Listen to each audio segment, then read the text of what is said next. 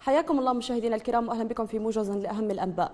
أعلنت قوات الشرعية سيطرتها على جبال الربعه بمديرية الحشوة بمحافظة صعده شمال البلاد، وأكد ليمن شباب أركان حرب اللواء التاسع حرس حدود العقيد محمد هادي العملسي أن وحدات عسكرية من قوات الشرعية تمكنت من السيطرة على جبال الربعه شرق مديرية الحشوة بمحافظة صعده، وأوضح العقيد أن مواجهات عنيفة اندلعت بين قوات الشرعية وميليشيا الحوثي أسفرت عن مقتل وجرح العشرات من الميليشيا كما تمكن الجيش الوطني من أسر 12 حوثيا. وذكر أن أربعة من جنود الشرعية استشهدوا خلال المواجهات وجرح ستة آخرون.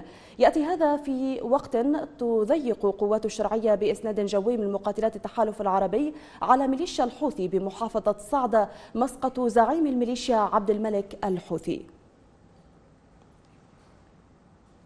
أعلن الجيش الوطني استعادته مناطق جديدة في مديرية حيران عقب معارك ضارية شنها ضد ميليشيا الحوثي الانقلابية. هذا وقال مصدر عسكري إن قوات الجيش تمكنت من تحرير مزارع الحراملة ومواقع على الشمال منها بعد معارك عنيفة مع الميليشيا تكبدت خلالها خسائر في الأرواح والعتاد. هذا وأشار المصدر إلى أن الجيش استعاد أيضا أسلحة مختلفة من بينها عربة عسكرية كانت بحوزة الميليشيا. الميليشيا هناك.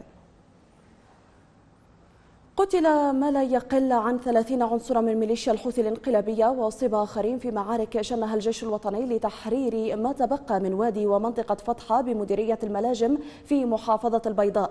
وقال مصدر عسكري إن قوات الجيش والمقاومة مسنودة بمقاتلات التحالف العربي تواصل تقدمها الميداني في مديرية الملاجم وأصبحت على مشارف منطقة البياض